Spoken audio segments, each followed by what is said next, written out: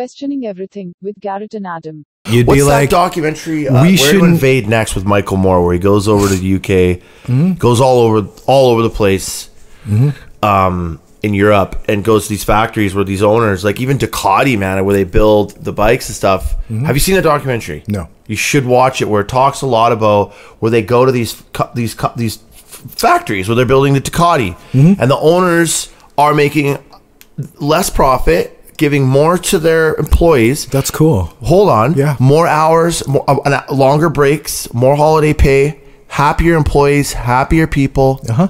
And the guy owns the Ducati fucking franchise still l- living it up. And a capitalist would say, that's great.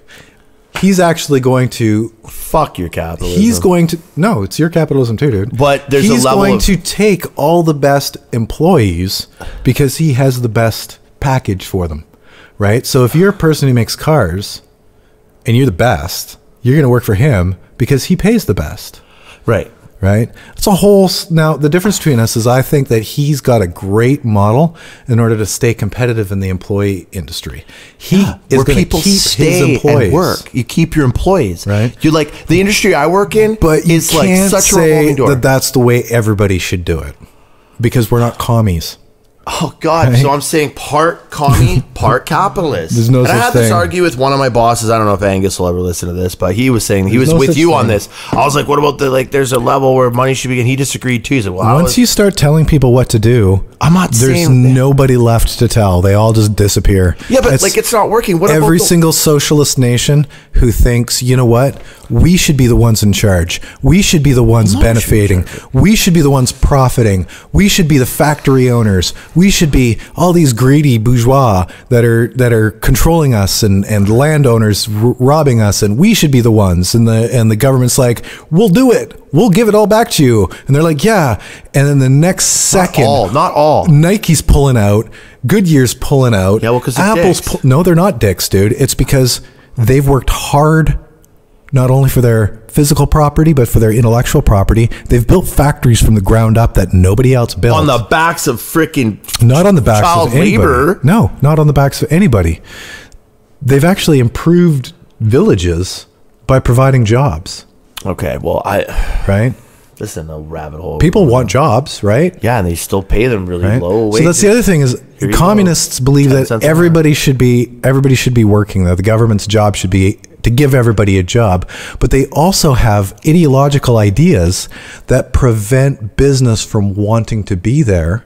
So jobs actually go away because once you indicate that somebody who has possessions will no longer have those possessions because there's an idea that's more I'm important not even saying. I'm saying taking away a little bit of the possession. All. You can still live on your fucking giant pile of money. once you can take away any of it, that's fucked. Then, then, all it takes is four more years and somebody else will get into power that has a different value system than you.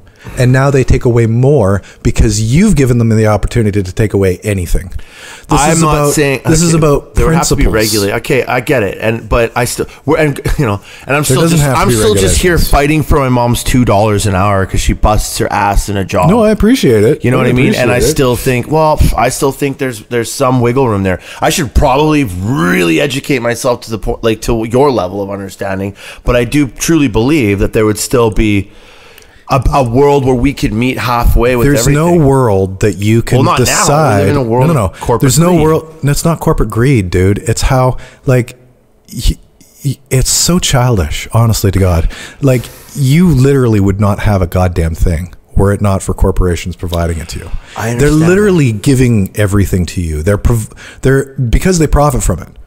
The grocery stores are full because they profit for it. But if they weren't full, you would be the main person who suffers. I So would I. understand that. So would everybody else. We would be the people who suffered if profit incentive did not exist. So you think? So you don't think that there's margins there where these think- titans no. can make their profits, No. and the little people can still also have a little bit more? I'm not even saying No. half. I'm saying, hey man, give that minimum wage person a little more, and the big motivated There's dude means can keep going. Man. There's means by which to try to get that, and you can ask for a raise. Um, in the case of they're unionized, in that case, so the union can try to fight for more. And then now you've got actual people with data who can sit down and go, okay, well, here's the numbers. Look at the how much the store makes, right? Like the fact that Jimmy Pattison owns 900 things and makes a lot of money is inconsequential because it's not part of the system. That's a really naive way of looking at how the system even works. To think that somebody should be giving back or something, again, not brutally even- naive. I'm just saying. I think I we are lucky that they're there providing us ramen noodles. Otherwise, we wouldn't have them, or they would be eight dollars a pack. Right. The minute that $8 the minute. What about no, gas being the minute $1.50, that we like- are like nobody should be allowed to make this much money. Nobody should be allowed to. Here's the regulation. That's not really what I'm saying, though. the minute that we the minute that we put a single regulation on profit, then you're saying it sets the precedent, and everybody will fucking jet because nobody wants to deal with that. Especially nobody wants to take their chances with the types of loose cannons who don't realize the value of private property. Who do you agree with? If anyone's listened this far, I am now really interested. And what do you what what what what what, what are you leaning here? Like, I, help me understand better here. Uh, you know, if you are listening this far, and I want to know who, who's who's got a who's got a good point. Do I have a good point? Does Adam have a good point? You don't have a point though. My you haven't made point a point. is, is that we I'm making a point and you're talking about a, an illusion. my illusion is I get up in the morning. Yeah. I got to pay a dollar fifty for gas. My Okay. insurance is however much that is. Food is however much that is. Rent is fucking astronomical. Okay. Taxes, this and that.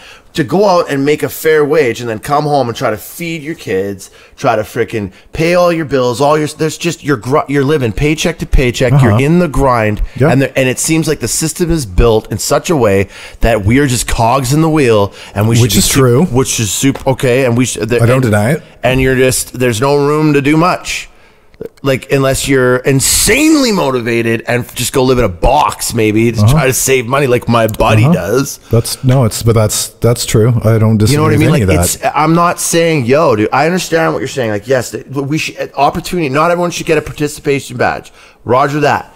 That's not what I'm saying at all either. I'm saying that you're talking about I'm not. I, extremely dangerous ideologies and you're and you're thinking that somehow the world it's all the world owes you something I don't think. The, yo, yo, yo, yo. I don't think the world owes me, It's- man. I'm one of the most No, no. motivated people I know.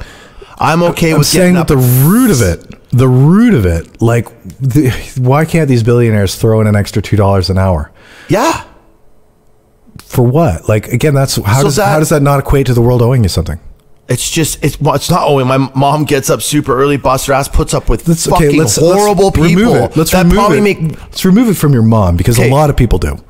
Right. A lot of people what? A lot of people make uh, uh, what we would consider to be uh, not a high wage. Right. Anything under fifteen dollars an hour for an adult is not a high wage.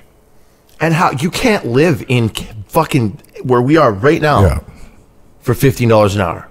You can though. How? I don't know. People do it. You don't have much. No, but people do it. I know they do, but that's tough. It is tough. I Real know. tough. They don't Uh-huh. have a nice mom. They don't like. They don't have cable. Probably they don't drive. Nope, but the world never owes you that either. Okay, The world doesn't owe you any of that shit. I know the resting point of the world is that you wake up, you're cold, and then you start starving. And so you got to go out and achieve. No, literally though. The, we we're not owed apartments. We're not owed house. We wake up in the cold and we're hungry. That's the reality of life. Zeitgeist, man. Of course, I have. What did But you think of that? I have no idea how that relates to this at all. Well, because the, it just talks about you wake up in the cold and you're hungry. That's the reality. Nobody owes you food. Nobody owes you shelter. So let's You go learn- back to that then. You learn how to make a Fuck this shelter. shit. But that's what this is. This is just a complicated version. You learn how to make a shelter. You learn how to c- gather food or kill the food. yes. That's what this is, except for this is a complicated version of it. Yeah, but no one's telling me that I have to go, like in that world though. There's not some dude that's got the fucking monopoly. He's No, got a monopoly a- on the fucking deer, man. Yeah, there is, and he fucking kills you. In fact, you he comes up from behind you as you're skinning the deer, and he kills you and takes the deer. And there's nobody that can stop him. Right? Well, that's an uncivilized world. We live Sure. in the civilized quotation mark Sure. world, brother. Yeah, I know. Where people are fortunate enough to have a job. right?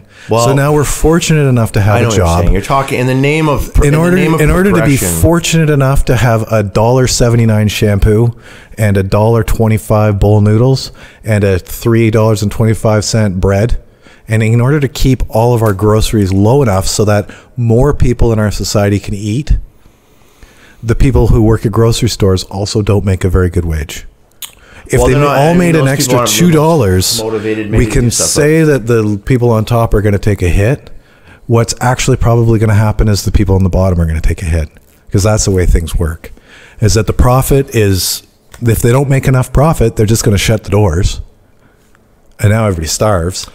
I'm just saying. So they're going to make enough profit to keep the doors open. In which case, either you have a well-paid employee or you have a reasonably priced bottle of vermin. Walmarts, the fucking superstores, the save, like the big. That's what I'm talking about. Corporations, well, like the little guys. Yep. Do you know that without those big corporations, a bottle of Kraft Dinner would probably be three ninety nine? They've actually brought the, the cost of Kraft Dinner down to like just over a buck because they compete with each other. They they compete on a mass scale. So rather than a store who has the guys got bills to pay and everything like that, these are like gigantic franchises that they all get to kind of split the overhead, right? And they buy a million boxes of KD for a few pennies less per box, and then they start competing with each other. Now it's like, well, I'm a buck twenty five. Well, I'm a buck sixteen. Next thing you know, it's a buck and they they're competing with each other to get the price as low as possible. They're making like a half a cent per box, but because they sell a billion boxes, they can do it. And as a result, more Canadians eat. It's hmm. crazy. It's crazy. Their corporate greed.